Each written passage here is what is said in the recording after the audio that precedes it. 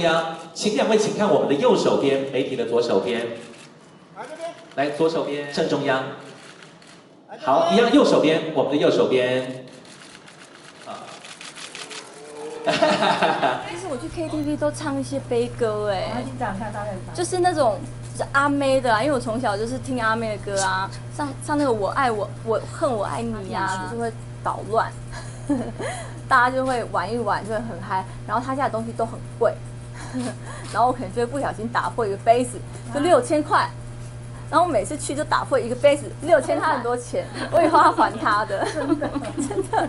他我就说你为什么要买那么贵的红酒那的的杯子呢？出出去的时候，他也是我们去 KTV 唱歌什么的，他从来也没有让我们就是晚辈出过钱啊，或是说出去出去吃饭啊，我生日啊，他请我们东西啊，或是就是一些，所以我们都叫他大哥嘛，就是他会照顾大家，唱唱 KTV 大家一起唱，然后他就结账啊。就我，例如说我生日，他就会帮我 KTV 开包厢，那结账起来是不是就一万多块？